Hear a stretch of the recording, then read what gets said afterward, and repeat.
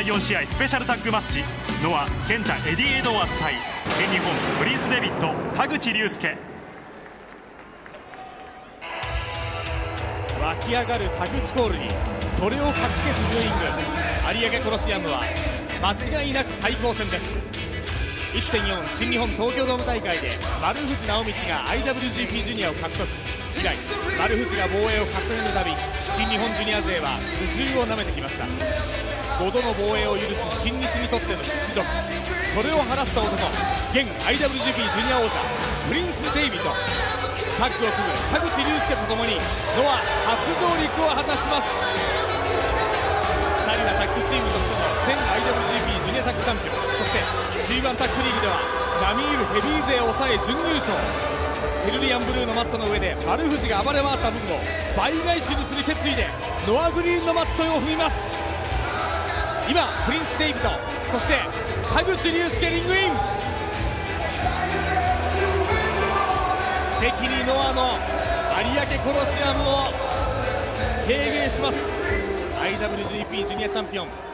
プリンス・デビッドです。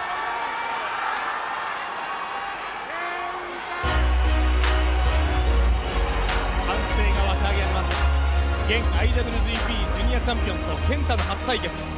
ノンタイトル。タッグマッチといえど嫌が上にもファンの期待は高まります。先月6月6日後楽園ホールおよそ8ヶ月のブランクを経て右膝の大怪我から復帰。丸藤とのシングルという大一番でいきなりトップ戦線へと戻ってきました健太。当初掲げたノア内部の充実。それとはそぐわないこの対抗戦。しかし自らにとっても10周年の節目。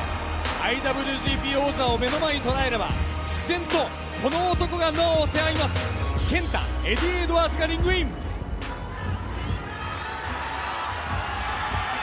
第4試合、60分一本勝負を行います。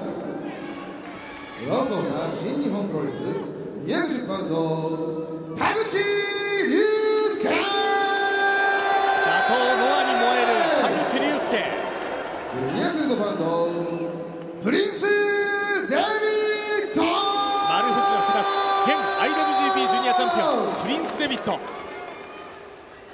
赤コーナー210パウンド、エディ・エドワーズ。ノア育ちのアメリカ人エディ・エドワーズ。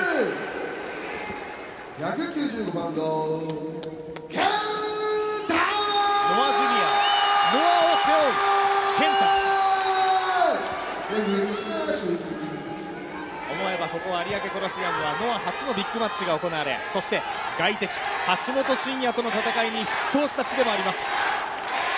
創立10周年記念大会第1弾。ノア新日本ジュニア対抗戦です。ケンタコール新日本へのブーイング。一部のファンから田口コール。紛れもなく対抗戦です。先発は健太新日本は田口竜介。60分一本勝負スペシャルタッグマッチ。ノア健太エディ・エドワーズ対新日本プリンス・デビッド田口竜介。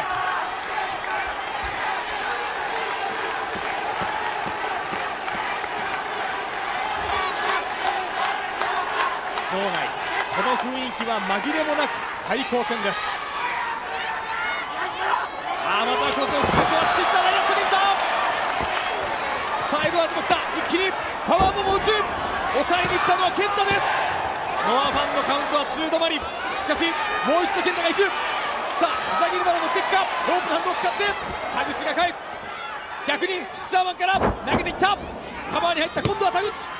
深く入ってカウントは2です。両者やり合いました。放送席には現在膝の怪我からリハビリ中。ノアジュニアのトップの一人鈴木小太郎選手にお越しいただいています。小太郎さん、紛れもなくこの雰囲気対抗戦ですね。そうですね、おそらく健太は秒殺狙ってきましたね。ええ。鈴木小太郎さんも新日本のマットに上がってこういった戦いを繰り広げました。こういう一戦はどんな気持ちになるんですか？そうですね、やっぱブーイングはね絶対出るんで、ね、それをやっぱ楽しめるように、ね、心を高めていかないといけないっていうのはありますね。はい、ここはノアのホームのマットなんですがそのあたり試合にはどういうふうに作用しそうですか、ね新日本側としたらね、ええ。やっぱ煽って煽っての勝負だと思いますよね。そうですか。やっぱ客を敵に回さないとこういうところでもね、ええ。はあ客に回すことで逆に燃えるところがあるい、そうですね、はなるほど。カバーに入ったのはエディ・エドワーズ。ただどうですか？田口を見ますと不敵に笑みを浮かべたりあるいは得意の腰振りをいきなり見せたり、い、はい、もうね、はい、心はしっかりしてますよね、なるほど。楽しんでやろうっていうのが伝わってきますね。えーさあプリンス・デビットが入ってきました小太郎さんこの人が丸藤を下した現 IWGP そうですね、彼も天才でしょうね。えーあの試合をご覧になったこともあるかと思うんですが、はい。どんなところ今日は楽しみにしたいですか？うーん、まああのね、とんでもない思いっきり飛んだりしますよね。ええ。はい。結構爆弾小僧的なイメージが僕の中ではある。んそうですか。はいトップロープを飛び越えるノータッチトペなどそういった飛び技を見せてきますプリンプリンス・デビットそのデビットから今田口竜介にタッチが交わされます。この田口はここ8ヶ月の間に対ノア勢で3試合シングルを戦って石森に敗れ丸藤にも連敗を喫しています。ノアには借りがある。そう言って乗り込んできた田口と。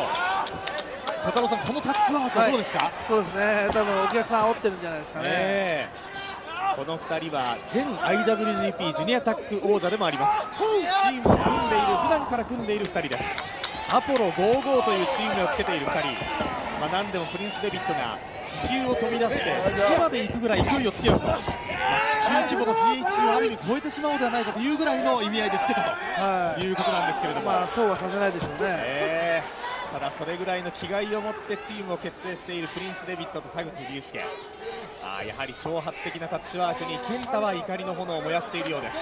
さあそのアポロ55デビットと田口飛び越えていってエディ・エドワーズ3人が入り乱れるが顔面を捉えた。健太にも行く！その跳躍力を見せてきますプリンス・デビットです。カバーに入ってカウンター1このデビットとエディ・エドワーズ不思議な共通点がいくつかあります。まず小太郎さん、はいあのアメリカのインディーマットで戦っている頃2人ははい45年前に3回、4回対戦があるそうなんですね。そうですか。ねええー勝敗はどうなってるんですか？あのそのあたりのことはちょっと覚えていないそうなんですがああそうですただ、お互いに日本で修行しているのでおそらく今日は違う印象だろうと、そうですね。エディはノア育ちですからね。そうですね、デビットは新日本育ちですもんね。えーエディ・エドワーズはアメリカで一度デビューをしていましたが練習生として再びノアに再入門しまして2005年8月にデビューを果たしました、まあ、今、小太郎さんの話にあった通りノア育ちと言っていいでしょうね。そうですねあーそのエドワーズに打点の高いキックを見舞っていったプリンス・デビット現チャンピオン。このデビットもアメリカでデビューをしてインディーマットで活躍をしていましたが自ら2005年新日本のロサンゼルス道場に入門をしてそしてそこで力が認められまして2006年入門を果たしていますですから日本流の土壌を持つ外国人の2人ですねね。はい。まあお互いにねノア魂と新日本魂を持ってるでしょうね。そうでしょうね、はいエドワーズはアメリカ人デビットはアイルランド人ですがそれぞれ背中にはノアの旗新日本の旗を背負っていますさあ田口が健太を挑発します健太に少し試合の権利が渡らない時間が長くなってきたでしょうか。試合時間5分を経過しています。このエディ・エドワーズはそれこそノアの合宿所に入りまして修行してきましたが、はい。鈴木小太郎選手から見て良さどんな選手でしょうか？うん、いや素晴らしいものを持ってますね、ええ。はい、僕もちょっと教えましたけどね。あそうですか。はいまあ、吸収力もいいし、まあ、ええ。素直にやっぱり、ね、やることをやってたし、はい。はい、すごい伸びてますよね、今。そうですか小太郎さん、健太さんが師匠ですと今日試合前も話していましたエディ・エドワーズ。今日は自分にとっての大チャンス。新日本と戦うのは初めてだけれどもこういった一戦は大きなきっかけになる。そしてエドワーズが話していたのは健太の正パートナーを射止めて、はい GHE ジュニアタッグに挑戦したいということを言っていました、まあ、今、空いてますからね、えでも実力は十分兼ね備えてると思いますよ、そうですか。は今日のような特別な一戦はおそらくきっかけになるでしょうい、ね。そうですね、直接結果を出してね、あー待ってくださいよ。田口が今試合の権利のないところで健太に行った。健太がそれに応える。4人が入り乱れています。あー健太も張り返す。エルボーの打ち合。い田口と健太ノア3連敗中田口。一方対抗戦はあまり燃えないと話していたがどうしてどうしてこの健太あっともう形のない攻防になってきた。上から抑え込んだの田口。この2人には試合の権利がありません鈴木小太郎さん、試合を少し度外視した。そうですね、権利はないですからね。ねえ。これがやはり気持ちが出る対抗戦なんでしょうかはい。ね、まあ、対抗戦ですからね、ええ。こうなるのはしょうがないですよね。さあ新日本がエドワーズを捕まえる。あとデイビッドをかわした